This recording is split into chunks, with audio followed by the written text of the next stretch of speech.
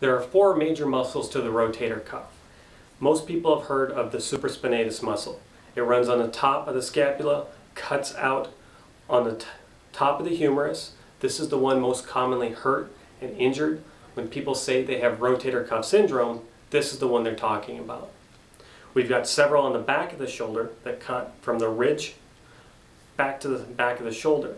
These help stabilize and pull the humerus backwards. When we raise our arm above our head or extend backwards, we're really using these muscles. They can become injured. People may have heard of teres syndrome or posterior shoulder sprains.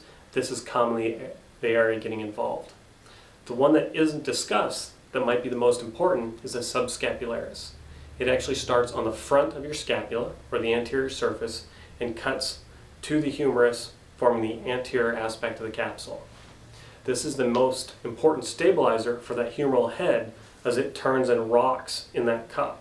So we've got the ball and socket for the movement to turning and twisting. If the subscap isn't working as it should, the humeral head starts to raise superior upwards towards the head. This increases the chances of the supraspinatus muscle getting irritated or injured with time. So good shoulder treatment involves addressing the subscap, getting in there to work those muscles the best we can.